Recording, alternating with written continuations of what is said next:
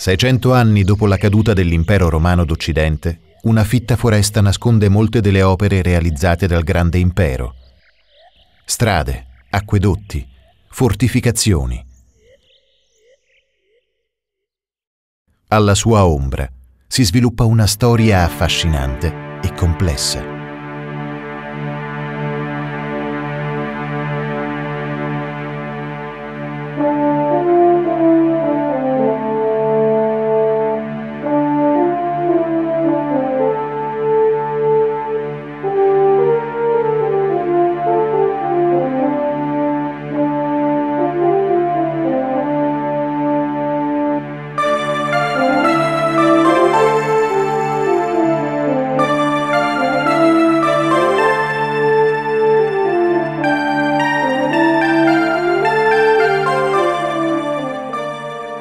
Storico ferrarese Ricobaldo così descrive la vita in quei tempi.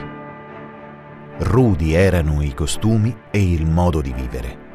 Gli uomini portavano sul capo cuffie di squame di ferro, cucite a berretti, che chiamavano maiete. Modestissimo era allora il modo di vivere di uomini e donne.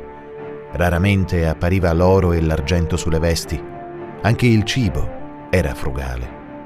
L'uomo e la donna mangiavano assieme nello stesso piatto.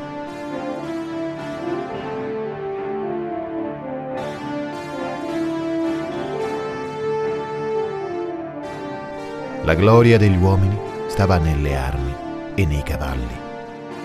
La gloria dei nobili consisteva nel possedere torri. Ogni città d'Italia appariva famosa grazie al numero delle torri. A contendersi il territorio italiano arrivano orde di popoli invasori che si stabiliscono dando origine a una mescolanza di etnie, tradizioni, culture. Sul finire dell'undicesimo secolo, i normanni, uomini del nord discendenti dai vichinghi di Scandinavia, con un'irresistibile avanzata si impadroniscono di molti territori del meridione d'Italia. Introducono la tradizione cavalleresca e il potere monarchico e trasformano questa regione fino ad allora marginale in una potenza militare.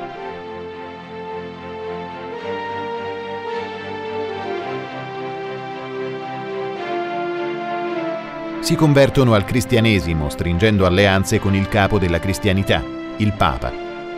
Nelle loro città svettano grandi cattedrali in pietra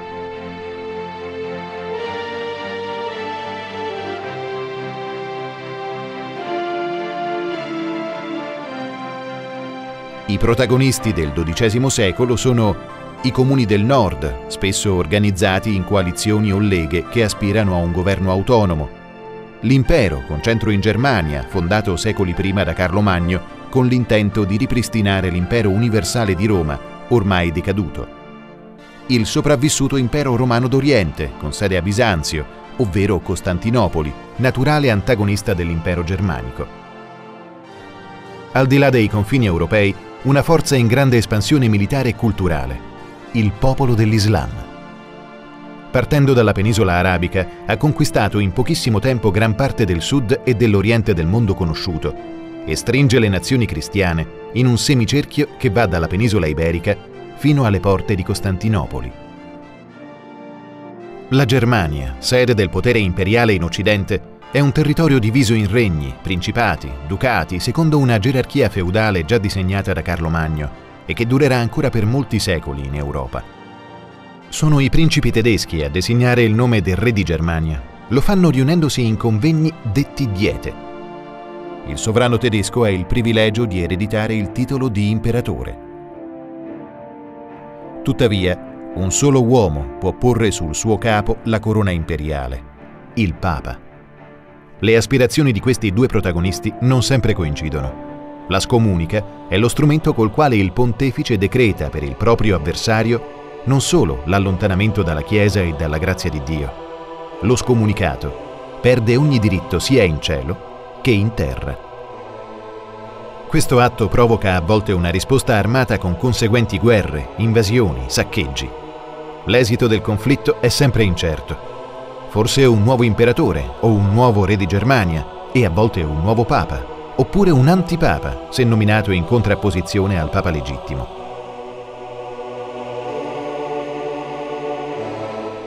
È un periodo quindi di intrighi, alleanze, tradimenti e dilagante corruzione. È proprio in questi anni che nasce la tradizione degli svevi.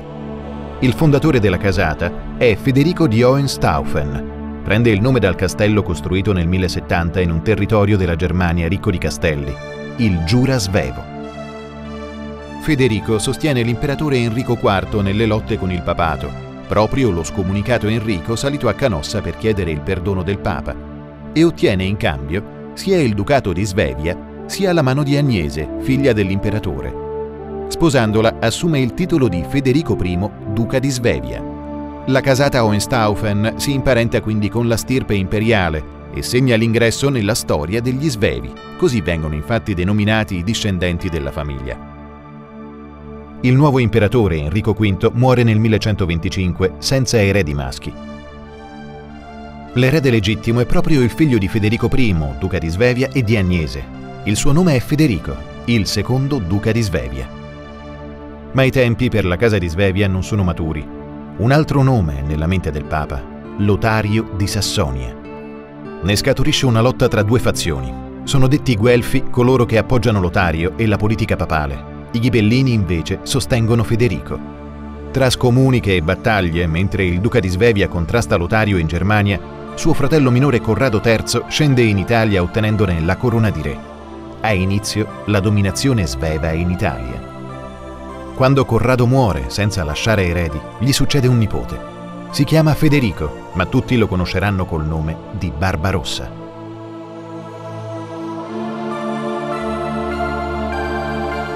Figlio di padre ghibellino e madre guelfa, riconcilia nella sua persona le due avverse fazioni depone un papa illegittimo, Arnaldo da Brescia, e riporta sul trono Adriano IV. In cambio ottiene la corona imperiale. Il Barbarossa vuole restaurare il potere politico dell'impero. Si considera erede di Costantino, di Giustiniano, di Carlo Magno. Il suo tentativo di far valere i diritti della corona sugli altri soggetti politici, ormai consolidati sulla penisola italiana, non avrà però successo. Lo scontro con i comuni del nord Italia, coalizzati nella Lega Lombarda, e l'ostilità del nuovo Papa Alessandro III gli sono fatali. Nel 1176, il 29 maggio presso Legnano, avviene lo scontro finale. Lo stesso imperatore, rovesciato da cavallo in battaglia, scompare e per alcuni giorni viene ritenuto morto. Quando poi ricompare, è costretto a ritirarsi. Dovrà venire a patti prima col Papa per riparare alla scomunica in atto e poi con i comuni. La pace è sottoscritta nel 1183 a Costanza. Il sogno del grande impero per il Barbarossa è svanito per sempre. La sua fine è tra storia e leggenda. Ormai settantenne, ma ancora uomo poderoso dal fisico prestante, impegnato in una crociata, decide di rinfrescarsi dopo una lauta cena nelle fredde acque del fiume Selef, presso Antiochia. Annega. Gli succede il figlio Enrico VI, che aveva sposato Costanza d'Altavilla, figlia del normanno Ruggero II, re di Sicilia. La Sicilia, meravigliosa terra di grandi ricchezze, già posseduta dagli arabi con la loro florida civiltà e successivamente conquistata dai normanni, diventa così eredità della famiglia Sveva. Il 26 dicembre 1194 Dopo otto anni di matrimonio, mentre Costanza, ormai quarantenne, è in viaggio verso la sua Sicilia, a Iesi dà alla luce l'ultimo grande svevo. Il suo nome è Federico. Tre anni dopo, Enrico VI muore. Costanza si trova sola a difendere la vita del piccolo Federico e il suo regno. A tale scopo stringe un accordo con il nuovo Papa Innocenzo III rinunciando in cambio a molti privilegi della corona sulla nomina dei vescovi. Un punto a favore dell'autorità papale. Il 27 novembre 1198 Costanza muore. Federico a soli quattro anni è incoronato re di Sicilia, duca di Puglia e principe di Capua. Egli è solo, adesso sotto la tutela del Papa, che lo tiene segregato nel Palazzo Reale di Palermo mentre fuori il potere è conteso tra feudatari tedeschi, nobili normanni, pretendenti alla corona di Sicilia e legati pontifici. Un'infanzia difficile, Federico appare disarmato di fronte ai suoi avversari. In quel crogiuolo di civiltà, la Sicilia, Federico sopravvive e acquisisce al contempo una notevole maturità. Egli ha un naturale ingegno e un'innata saggezza, acuita dalle dure esperienze vissute. Attorno a lui ci sono ottimi maestri. Nicola, arcivescovo di Taranto, il notaio Giacomo da Traietto. Federico mostra grande interesse per il sapere. Conosce numerose lingue, latino, greco, tedesco, francese e non ultimo l'arabo. Anzi, in lui colpisce la familiarità sin dall'adolescenza con il mondo spirituale arabo, la simpatia per l'Islam, la disinvoltura dei rapporti con i credenti di altre religioni. Più tardi queste simpatie irriteranno gli ortodossi cristiani e saranno causa di difficoltà nei rapporti con i poteri antagonisti. A 14 anni, secondo la tradizione siculo-normanna, si conclude la tutela del pontefice e Federico è proclamato maggiorenne. Disordini, lotte intestine, ribellioni minano il regno, ma Federico dimostra di poter governare. Un anonimo scrive di lui. Le sue doti a tal punto precorrono gli anni che prima ancora di essere divenuto uomo, ma già provveduto di conoscenze, egli portò in sé il dono della sapienza, che avrebbe dovuto acquisire con l'andare degli anni. La scienza lo ha reso già uomo e la maestà lo ha fatto sovrano. È gioco forza ubbidirgli immediatamente e senza indecisioni. Egli sa distinguere tra il bene e il male, tra fedeltà e infedeltà.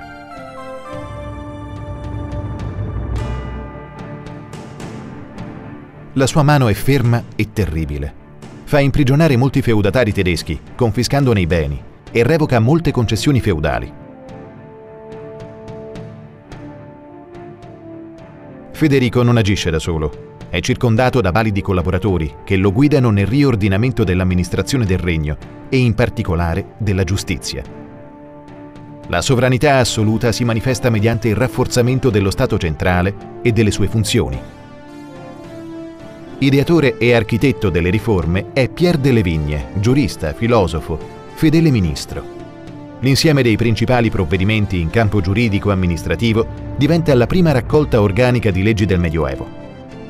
Sono le Constitutiones Regni Sicilie, dette anche Costituzioni di Melfi, perché proclamate in una dieta convocata nella città di Melfi. Vi si legge nel proemio. L'ordine delle cose stesse, non meno che l'impulso della divina provvidenza, hanno scelto i principi dei popoli affinché, attraverso di essi, fosse limitata la facoltà di operare il male. Ancora nel terzo libro si legge Non pensino le genti future che noi abbiamo voluto la compilazione di queste Costituzioni soltanto per il desiderio di gloria. Noi le abbiamo volute per cancellare in questi nostri tempi l'ingiustizia del passato, quando la voce del diritto era muta, e per far risorgere, rinnovata nella memoria, una nuova era di giustizia il giovane Federico continua a rafforzare il suo potere. Nel 1212 è re di Germania, di Sicilia e di Puglia, con la benedizione di Papa Innocenzo III, suo tutore. L'ombrello papale gli è di grande utilità. Federico è presente in tutte le azioni politiche e amministrative del suo regno, cura personalmente l'assetto politico e militare. L'impero non ha altri pretendenti di uguale forza.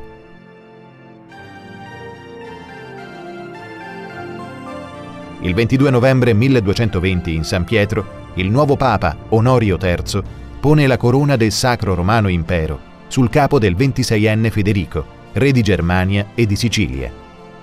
È la proclamazione dell'imperatore Federico II, nipote del Barbarossa, della casa di Svevia, discendente della famiglia Hohenstaufen.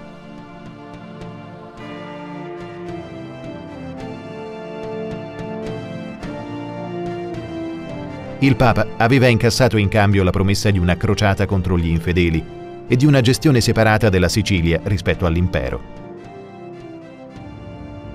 La mano dell'imperatore, armata ormai di grande potere, può porre in atto un grandioso programma di consolidamento dello Stato. Nella sua mente vi è la riorganizzazione spaziale e difensiva del territorio un'opera in parte già avviata dai Normanni, che avevano disseminato il territorio di castelli, fortificazioni, torri difensive, con l'obiettivo di rendere l'Europa cristiana una fortezza impenetrabile. Quasi ogni città dell'impero è dotata di torri difensive e di mura possenti. L'imperatore però può contare sulla fedeltà di ben poche regioni dell'impero. In Germania i principi tedeschi sono sempre in fermento e tramano intrighi. I comuni del nord Italia sono di fatto città-stato autonome. Le regioni del centro Italia sono sotto il dominio pontificio. In Sicilia e in Puglia Federico trova un ambiente più favorevole, un calore che ristora dal freddo gelido del nord. L'imperatore ne è costantemente attratto. La Sicilia è il regno del sole, la patria dei suoi avi normanni. Ma è affascinato soprattutto dalla Puglia, per la serena dolcezza del suo paesaggio malinconico e solare, dolce e aspro, per le pianure, le marine, le boscose colline. Una sorta di terra promessa, scenario ideale e suggestivo, in cui si intrecciano armonicamente natura e arte, definita dallo stesso Federico luce dei suoi occhi. E proprio in Puglia vuole stabilire la corte imperiale, una base da cui lanciare l'offensiva politico-militare per ristabilire il proprio potere sull'Europa imperiale. Spoglia i feudatari di molti dei loro poteri a favore dello Stato centrale. Conti e baroni fanno posto a funzionari e ministri di nomina imperiale. Chi mette in discussione l'operato del sovrano e dei suoi ministri commette sacrilegio. Di contro, è punito con estrema severità il ministro che nell'esercizio dell'ufficio devia dal mandato ricevuto. In campo economico vanno ricordati anche gli interventi che coinvolgono le comunità ebraiche. Federico non vuole che gli ebrei siano vittime dei cristiani, ma non desidera neppure il contrario. Decide allora di ricondurre le attività economiche degli ebrei sotto il controllo pubblico, accordando loro protezione. È il primo sovrano europeo a far ciò. Egli considera lecito il prestito a interesse, ma stabilisce il tasso del 10% annuo. Trasforma inoltre i tradizionali monopoli ebraici della seteria e della tintura in un monopolio industriale dello Stato. Gli artigiani ebrei lavorano su concessione di un privilegio regio che frutta denaro anche all'erario.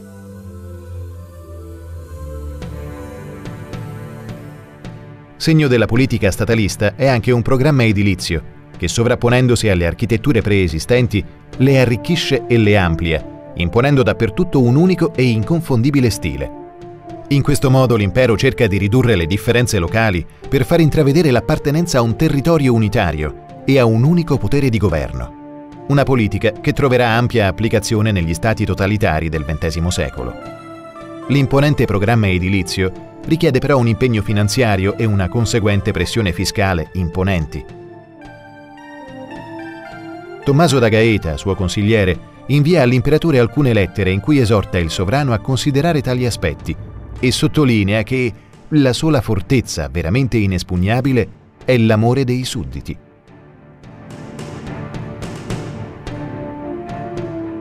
Chi sono gli architetti di questa rivoluzione edilizia?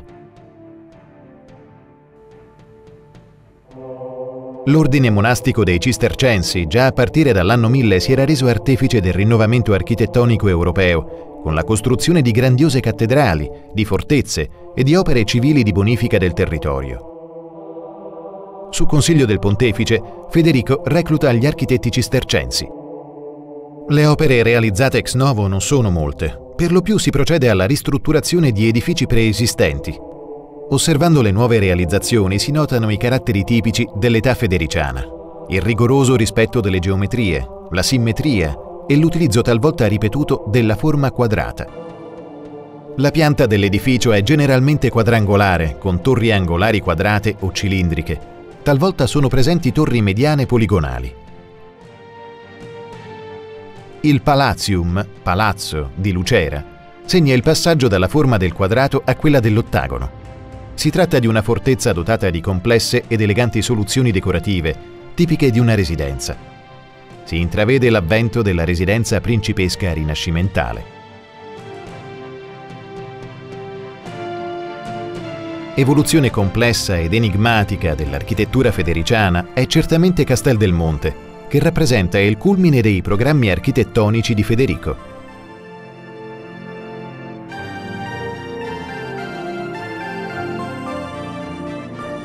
Sono numerose le ipotesi circa la destinazione di questo edificio. La disposizione dei volumi interni non farebbe pensare a un luogo di soggiorno. Forse è una fortezza posta in una posizione centrale nell'ambito della sistemazione delle fortificazioni in Puglia, circondata da una possente cinta muraria, oggi distrutta.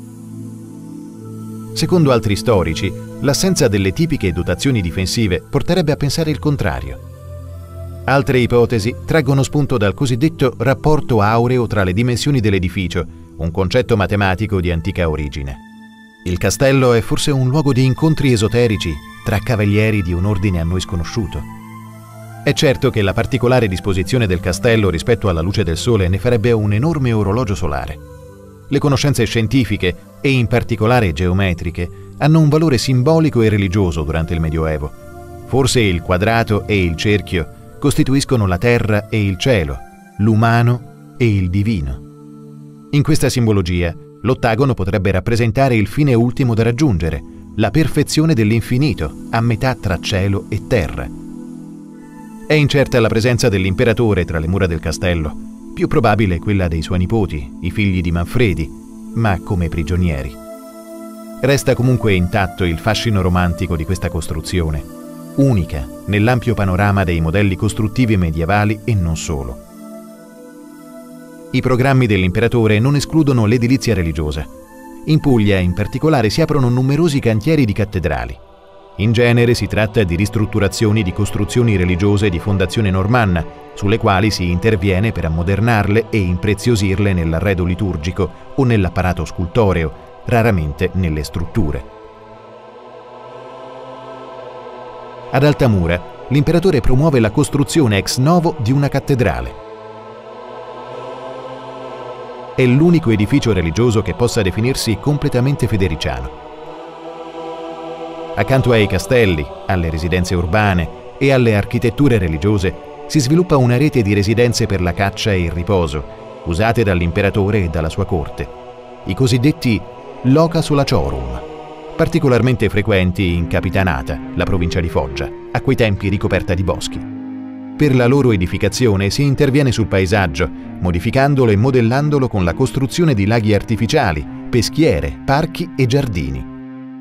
Federico si dedica anche con grande passione alle arti cavalleresche e alla falconeria, come testimoniato dal suo trattato De arte venandi cum avibus, un vero e proprio manuale diviso in due sezioni, l'ornitologia e la falconeria, in cui Federico palesa il suo interesse per le scienze naturali, in particolare per la zoologia.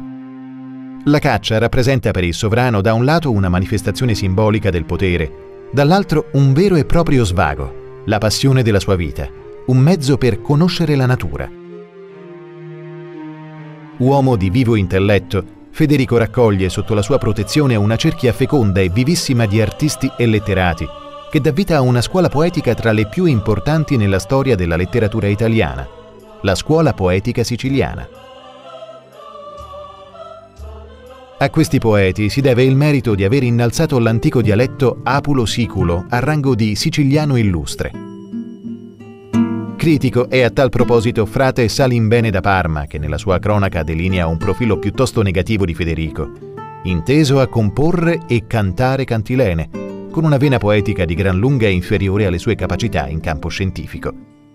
Ci sono pervenuti solo pochi componimenti attribuiti con certezza all'imperatore, le sue liriche costituiscono delle vere e proprie esercitazioni di stile, artefatte e convenzionali, ispirate al mondo della cavalleria e della corte.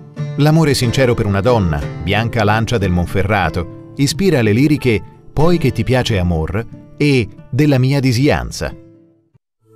La fiore d'ogni fiore prego per cortesia, che più non sia lo suo detto fallato, né disturbato per iniziadore, né suo valore non sia menovato, né rabassato per altro amadore.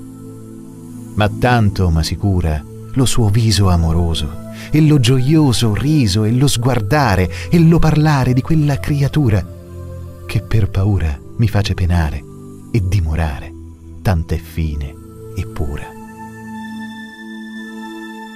Ma più che un letterato, Federico è uomo di scienze, animato da grande curiosità e desiderio di conoscere come testimonia il brano tratto dalla lettera ai dottori dello studio di Bologna del 1232. Quel po' di tempo che riusciamo a strappare alle occupazioni che ormai ci sono divenute familiari, non sopportiamo di trascorrerlo nell'ozio. ma lo spendiamo tutto nell'esercizio della lettura, affinché l'intelletto si rinvigorisca nell'acquisizione della scienza, senza la quale la vita dei mortali non può reggersi in maniera degna di uomini liberi. E voltiamo le pagine dei libri e dei volumi, scritti in diversi caratteri e in diverse lingue, che arricchiscono gli armadi in cui si conservano le nostre cose più preziose.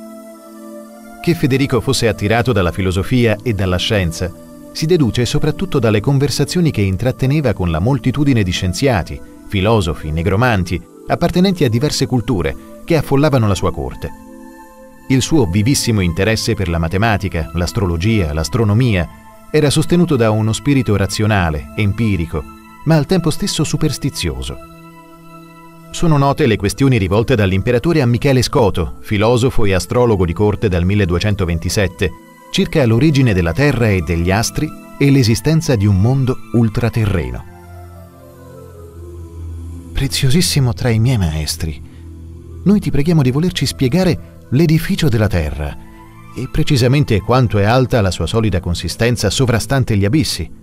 E come siano questi abissi sotto la Terra e se laggiù esista qualche altra cosa che la sorregge, oltre l'aria e l'acqua, se la terra posi su se medesima, o sui cieli che le stanno sotto, e se esistano altri cieli, e chi li guidi, e dove esattamente si trovino l'inferno, il purgatorio e il paradiso, sotto la terra, nella terra o sopra di essa. Federico era affascinato dalla filosofia della scuola di Averroè, matematico e filosofo arabo Molti gli interrogativi, denominati questioni siciliane, posti a filosofi e scienziati islamici dopo la morte di Scoto, tra il 1237 e il 1242. Esse costituiscono un documento importantissimo per comprendere l'atteggiamento dell'imperatore nei riguardi del mondo islamico. Alcune di esse sono riportate in un trattato di ottica, opera di uno scienziato arabo, in cui tra l'altro Federico chiede per quale ragione i remi, le lance, e tutti i corpi diritti di cui una parte venga immersa nell'acqua sotto la superficie di essa sembrano curvi e deformati.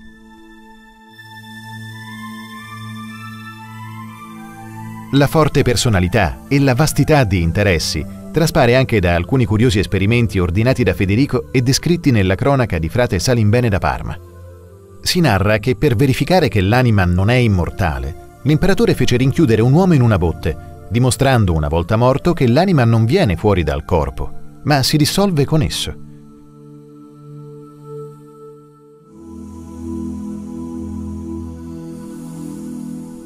Un altro crudele esperimento è legato al desiderio di Federico di conoscere se la digestione sia favorita dal movimento o dal riposo.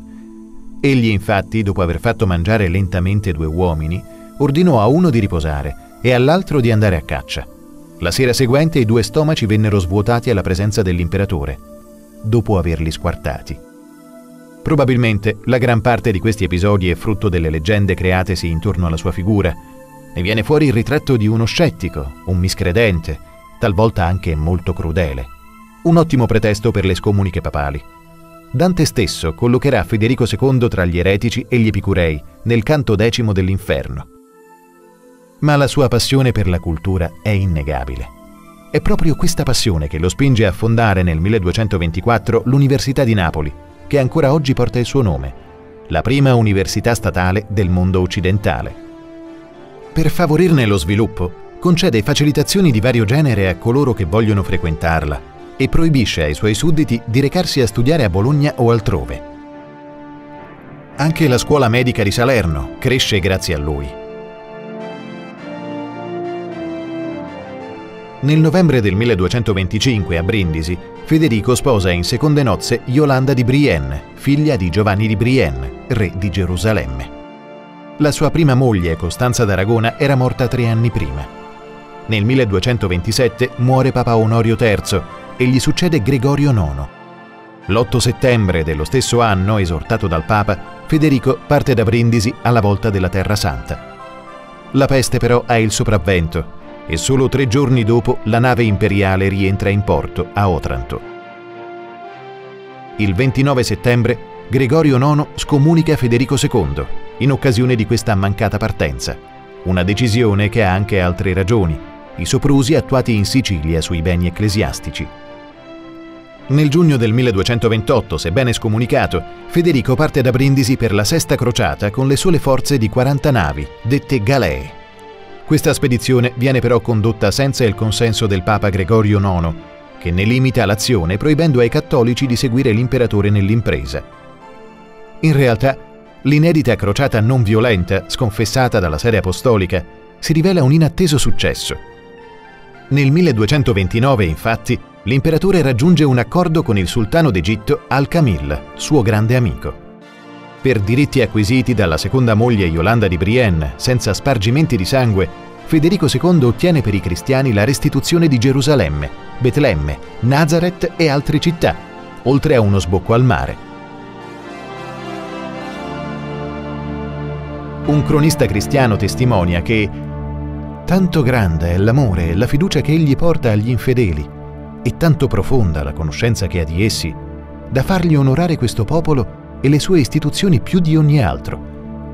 Maomettani ortodossi sono diventati suoi camerlenghi e servitori, e in molte cose egli si attiene agli usi e costumi saraceni. Spesso invia al sultano doni magnifici e preziosi, e altrettanto fa quegli con lui. Nel marzo del 1229, Federico II a Gerusalemme, nella chiesa del Santo Sepolcro di Cristo, cinge con le proprie mani la corona reale. Nello stesso anno, però, l'imperatore subisce la perdita di sua moglie Yolanda di Brienne, avvenuta dopo la nascita del figlio Corrado. L'anno dopo, la Chiesa revoca la scomunica a Federico II e si ristabiliscono buoni rapporti con il Papa, documentati dall'arrivo di Federico a Roma e dall'accoglienza amichevole del pontefice. Il Papa sembra approvare la politica dell'imperatore in Terra Santa Nell'impero però si prospetta un periodo di lotte e scontri. Nel 1235 Federico è chiamato a sedare la rivolta del figlio primogenito avuto da Costanza d'Aragona, Enrico re di Germania, illuso e istigato contro il potere imperiale da alcuni nobili tedeschi. Federico organizza il suo esercito e decide di salire in Germania. Il popolo tedesco rimane ammaliato e atterrito dall'esotica imponenza del suo corteo. I sostenitori di Enrico fuggono il cronista Eberbach così riferisce. Egli avanzava in grande gloria, come si addice alla sua imperiale maestà, e lo seguivano carri carichi d'oro e d'argento, di porpora e di bisso, di pietre preziose e preziosi arredi. Portava seco cammelli e dromedari, scimmie e leopardi, saraceni esperti in molte arti e numerosi etiopi che sorvegliavano i suoi tesori. Egli venne dunque con gran seguito di principi e signori e giunse a Wimpfen. Allora tutti i fautori di re Enrico furono colti da spavento e disperazione a causa della gloria e potenza dell'imperatore. Enrico morirà pochi anni dopo, nel 1242. Nelle lettere inviate da Federico al clero siciliano traspare l'amore del padre verso il figlio e la sofferenza per la sua fine sventurata pur velati di durezza e inflessibilità. Vi si legge. Il compianto del genitore amorevole ha fatto ammutolire la severità del giudice. Noi dolorosamente piangiamo la sorte di Enrico, nostro primogenito, e dal più intimo la natura ha fatto sgorgare fiotti di lagrime che finora il dolore dell'offesa e l'inflessibilità della giustizia avevano trattenuto. Forse i padri severi stupiranno che il Cesare mai vinto da nemici s'abbia dovuto piegarsi sotto un dolore familiare. Noi che non fummo colpiti dalla tracotanza del re quando era in vita, ammettiamo ora di essere piegati dalla sua scomparsa. Nel 1237, a Corte Nuova, presso Bergamo, Federico sconfigge l'esercito della seconda lega dei comuni lombardi, conquistando il Carroccio, simbolo delle città lombarde federate può annullare la pace di Costanza del 1183 che aveva siglato la rinuncia da parte del nonno, Federico Barbarossa, al dominio assoluto e accentratore sui comuni e stabilisce un nuovo ordinamento generale al Regno d'Italia. Il territorio a nord del Regno di Sicilia e di Puglia viene sottoposto a un luogotenente imperiale e suddiviso in cinque parti sotto cinque vicari, funzionari militari e civili, ovvero capitani e giustizieri, governano le principali città. L'azione politico-militare di Federico sembra all'apice del successo. A seguito di questa vittoria, nel 1238, l'imperatore dona alla città di Roma il Carroccio di Milano, un carro trainato da buoi, con in vista una croce, lo stendardo cittadino e una campana detta martinella che veniva suonata per dare inizio all'assalto. Durante le battaglie, posto al centro dello schieramento, serviva a spronare le milizie. Era considerato simbolo di indipendenza dalle città comunali dell'Italia del Nord. Con questo gesto Federico vuole presentare se stesso come l'erede degli imperatori romani, in armonia con il disegno di restaurazione dell'impero, in una sorta di appropriazione ideologica dei modelli antichi. Egli accompagna il dono con queste parole. I doni del Cesare Augusto Federico II, o Roma, conserva, e il carro quale primo ornamento della città. Esso, catturato nella sconfitta di Milano, viene preda gloriosa a riferire i trionfi di Cesare starà a obbrobrio del nemico. Viene inviato in onore di Roma e l'amore di Roma gli impone di mandarlo.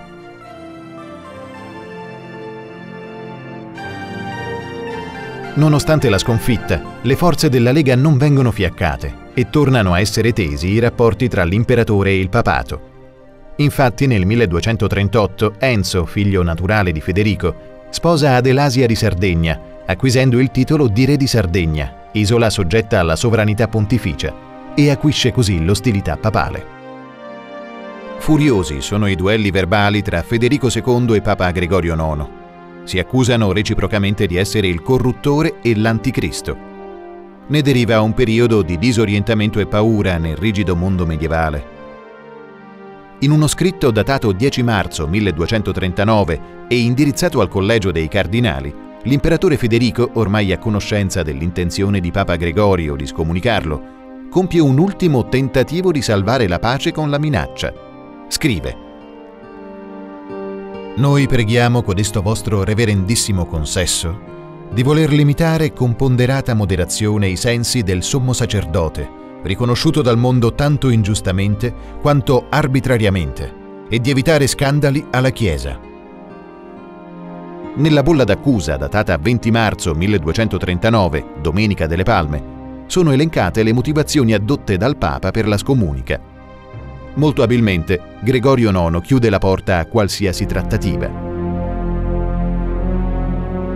Forti della perfetta potenza del Padre, del Figlio e dello Spirito Santo, degli Apostoli Pietro e Paolo e della nostra stessa autorità, noi scomunichiamo e anatemizziamo Federico, chiamato imperatore, perché nella città di Roma egli è stato l'istigatore di una sedizione contro la Chiesa romana, con la quale mirava a scacciare dai loro seggi il sacerdote di Roma. Lo scomunichiamo e anatemizziamo, perché non permette che vengano occupati alcuni vescovadi e altre libere chiese site nel suo regno perché nel suo regno prelati, dietro suo ordine, sono stati incarcerati, proscritti, spossessati e messi a morte, perché nel suo regno sono state distrutte e profanate chiese consacrate al Signore. Infine, poiché in base ai suoi discorsi e alle sue azioni, molti, anzi tutto il mondo, gravemente lo accusa di non praticare la vera fede cattolica.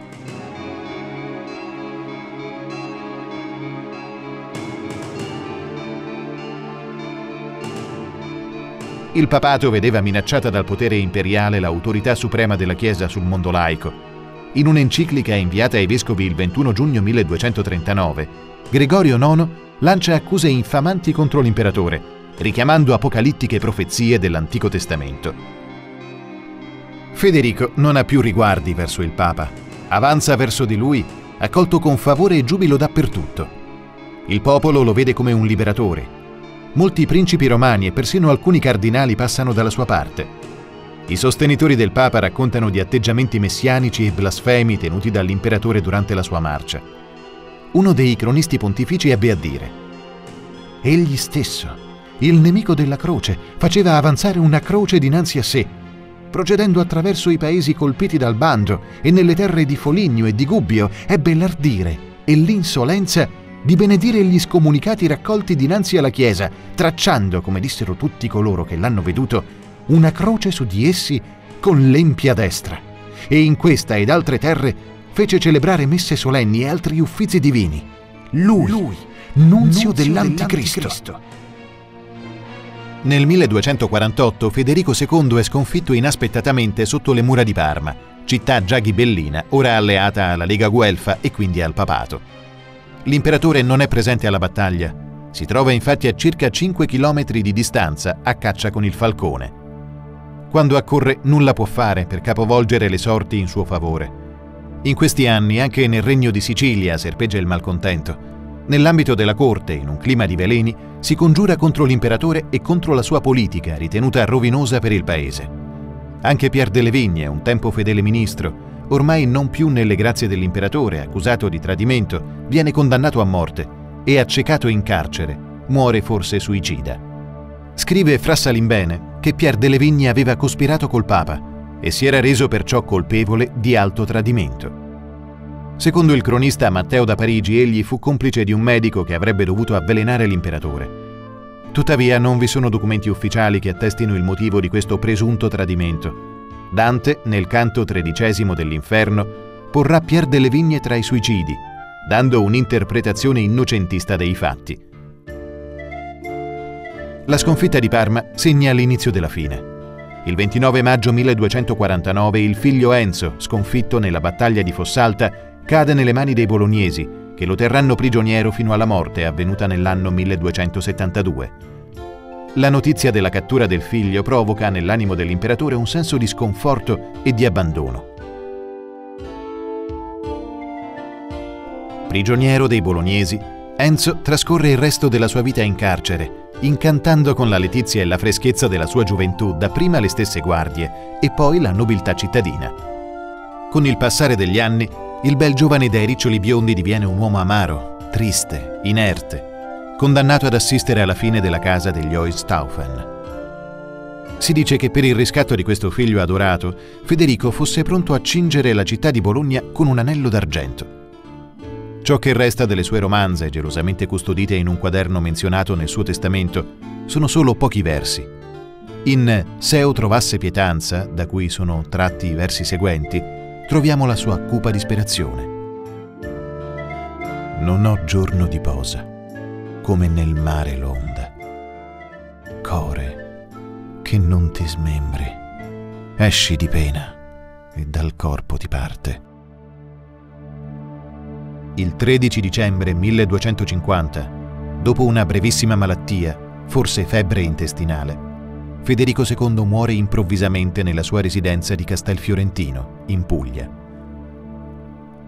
A soli 56 anni, inaspettatamente, scompare così uno dei maggiori protagonisti della storia dell'Occidente. Da un lato razionalista, scettico e mecenate, dall'altro imperatore medievale e tradizionalista. Viene esaltato come il precursore del principe rinascimentale e biasimato per gli eccessi del suo temperamento e del suo stile di vita.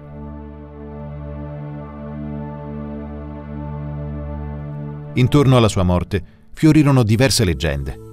Si ritenne erroneamente che fosse stato soffocato dal figlio Manfredi.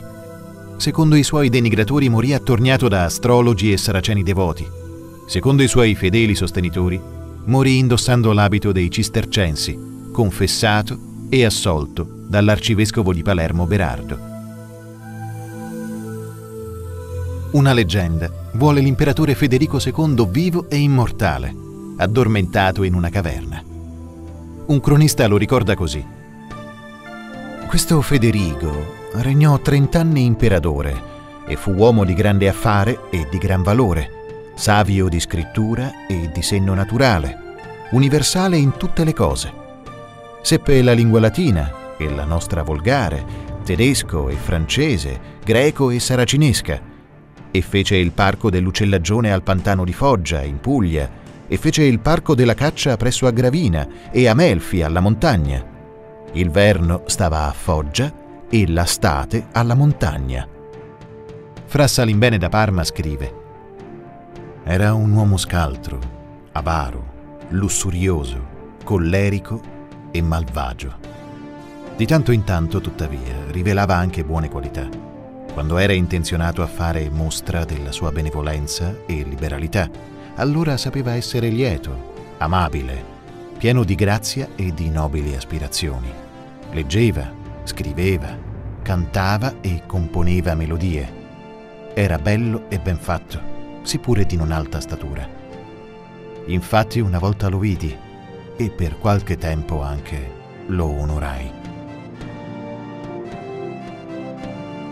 Lo stesso imperatore probabilmente ordinò di tenere nascosta la notizia della propria morte, consapevole dell'autorità accentrata nella sua persona, così da non sconvolgere l'assetto del regno nel periodo di transizione. E infatti, fino alla fine del gennaio 1251, dalla cancelleria regia venivano emessi documenti in nome dell'imperatore, ma con l'aggiunta del nome di Manfredi, che nel testamento di Federico era stato nominato governatore d'Italia e di Svevia fino alla discesa di Corrado IV, legittimo erede. In una lettera inviata al fratello Corrado, Manfredi, annunciando la scomparsa di Federico, esprime con profonda lealtà il desiderio di affidargli il controllo del regno. Così lo stesso Manfredi parla della morte del padre. Tramontato è il sole del mondo che illuminava le genti. Tramontato è il sole della giustizia. Tramontato è il fondatore della pace ma anche se quell'astro è tramontato, i suoi ordinamenti gli assicurano continuità e nuova vita in voi. Nessuno crede che il Padre sia assente, perché si spera che nel Figlio viva. Il cronista Tommaso di Eccleston riporta la visione di un monaco siciliano.